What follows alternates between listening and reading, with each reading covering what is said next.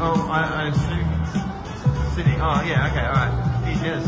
I, I thought he might be Maori. And I was like, yeah, but anyway. I've been living in New Zealand for the last three years, and so I kind of just assume everyone I meet who's like, oh, you're Maori. I'm always like, oh, they must be Maori. But yeah, it's just a stereotype. But anyway, thanks for stopping. Here we go. So it sounds good to them, then it must be good. That means it's time for the announcement. Uh, I've got a